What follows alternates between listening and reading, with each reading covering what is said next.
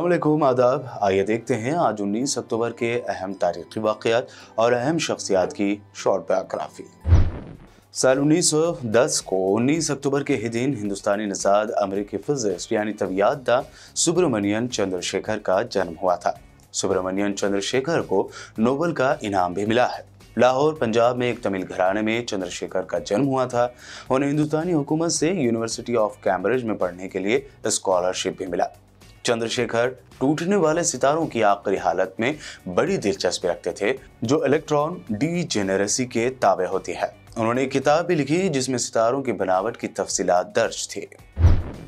यहूदी रियासत इसराइल के साथ जंग के बाद सऊदी अरबिया, लीबिया और दीगर अरब ममालिक ने आज 19 अक्टूबर उन्नीस सौ तिहत्तर के ही दिन अमेरिका को तेल एक्सपोर्ट करने पर पाबंदी लगा दी थी।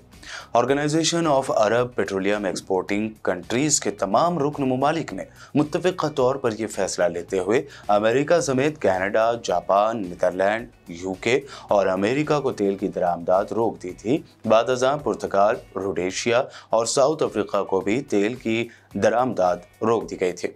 अरब ममालिक की जानब से तेल के एक्सपोर्ट रोक दे रोक देने का ये फैसला उन तमाम ममालिक पर बिजली की मानंद गिरा और उस वक्त तीन डॉलर फ़ी बैरल फरोख्त होने वाले ऑयल की कीमत अचानक बारह डॉलर फ़ी बैरल हो गई थी, जिससे पाबंदी लगाए गए तमाम ही ममालिक में भूचाल आ गया था। साल उन्नीस सौ चौरानवे को आज ही के दिन चेचनिया में जारी जंग के दौरान 160 अफराद मारे गए थे। चेचनिया में रूसी बरबरीत की वजह से हज़ारों हलाकतें हुई थी। यूनिसेफ ने अपनी एक रिपोर्ट में बताया था कि चेचनिया जंग के दौरान सबसे ज़्यादा बच्चे मुतासर हुए थे। जहाँ किसी के वालिद इस जंग में मारे गए थे तो ऐसे बच्चों की तादाद बहुत ज़्यादा थी, जिनके माँ और बाप दोनों ही इस दुनिया में नहीं रहे थे। आज भी चेचनिया में इस जंग में मारे गए शोहदा की बरसी मनाई जाती है। इसराइल के लिए उन्नीस सौ चौरानवे को आज ही का दिन सबसे बदतरीन दिन साबित हुआ था। इसराइल के शहर तिलबीब की एक सड़क पर आम शहरियों से भरी हुई एक मुसाफिर बस को एक खुदकुश बम्बार ने धमाके से उड़ा दिया था। इस हमले में करीब 22 यहूदी शहरी हलाक, जबकि 50 से जायद दिगर इसराइली शहरी जख्मी हो गए थे। उस वक्त उस वक्त तक इसराइली तारीख में यह सबसे बदतरीन हमला करार दिया गया था। तो वहीं इसराइली तारीख में तिलबीब में होने वाला ये पहला कामयाब खुदकुश हमला भी था।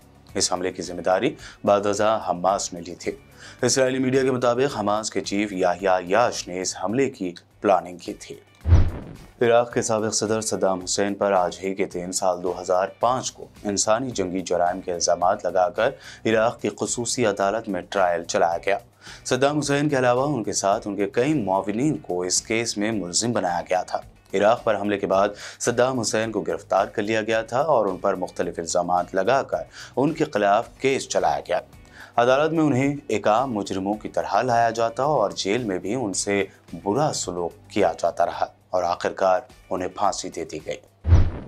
ये थे आज के अहम तारीख वाक़ात देखते रहिए पी चैनल